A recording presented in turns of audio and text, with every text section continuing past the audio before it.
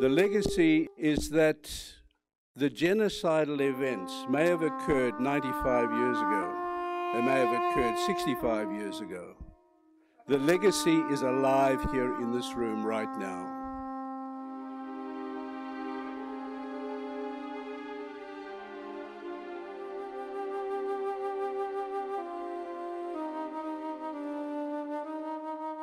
It's a, it's a testament to the fact that we're not going to allow the rewriting of history or the denial of history. And to the revisionists out there, we say this admit to the truth of what's happened. The whole world knows what's happened, and to do that would be a noble thing, a good thing, a moral thing, and a decent thing. Let just justice be done. Let the memory of those victims rest in peace.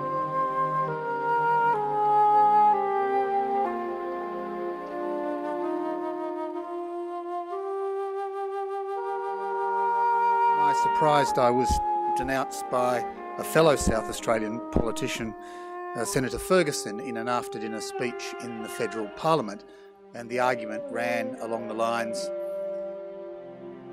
uh, the genocide wasn't really uh, a genocide, and secondly, uh, if it were, were it happened so long ago, and we are such good friends with the Republic of Turkey that no one should be talking about it.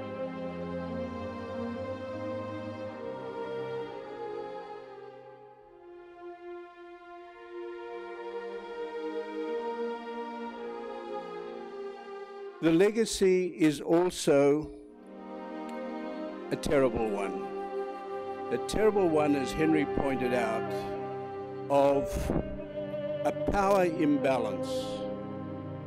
And the power imbalance is that a minority of people, Assyrians, Armenians, Pontian Greeks, suffered at the hands of a powerful perpetrator.